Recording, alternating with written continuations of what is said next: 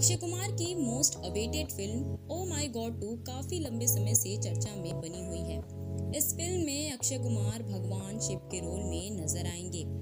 ये साल 2012 में आई ओ माई गॉड का दूसरा पार्ट है।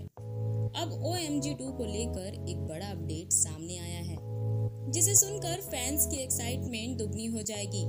दरअसल अक्षय कुमार, यामी गौतम और पंकज त्रिपाठी स्टारर ये फ़िल्म 11 अगस्त को बॉक्स ऑफ़िस पर रिलीज़ होगी। इस बात की जानकारी खुद अक्षय कुमार ने एक सोशल मीडिया पोस्ट के ज़रिए दी है। अक्षय कुमार ने अपने इंस्टाग्राम अकाउंट से ओ एम जी टू का एक पोस्टर शेयर किया है। इस तस्वीर में अक्षय कुमार भगवान शिव के रूप में नज़र आ रहे हैं।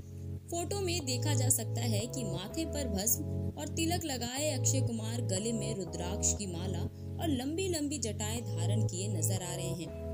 फ़ोटो में शिव के रूप में अक्षय ने हाथ में डमरू भी ले रखा है। इस तस्वीर को शेयर करते हुए अक्षय कुमार ने कैप्शन में लिखा, आ रहे हैं हम, आइएगा आप भी।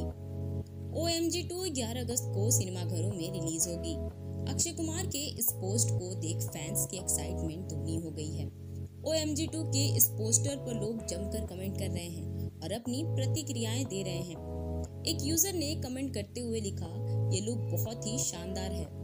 तो वहीं एक यूज़र ने लिखा, ये फ़िल्म ऑल टाइम ब्लॉकबस्टर होने वाली है. हालाँकि अक्षय कुमार के इस पोस्ट को देख कुछ यूज़र्स परेशान भी दिखे। दरअसल कुछ फैंस इस बात को लेकर चिंतित हैं कि कहीं अक्षय फ़िल्म में भगवान शिव को लेकर कुछ गलत न पेश कर दें। अब देखना ये है कि ओ एम जी टू ग्यारह अगस्त को सिनेमाघरों में कितना धमाल मचाती है।